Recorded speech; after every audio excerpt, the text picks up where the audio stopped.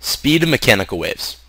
The speed of mechanical waves depends only on the type of medium that they travel through. There are two factors we want to consider for the medium. The first is the state of matter. We want to know, is this a solid, liquid, or gas? Okay.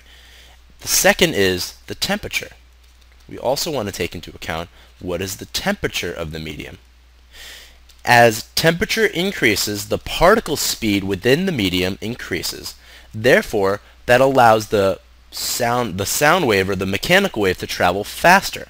So we generally say that, generally speaking, the higher the temperature, the higher the speed of the mechanical wave.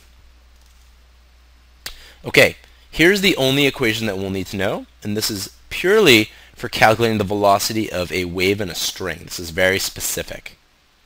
The velocity of a wave in a string is going to be equal to the force of tension in the string divided by the ratio between the mass and the length, which is what we call mu. And uh, we take the square root of, of that quotient.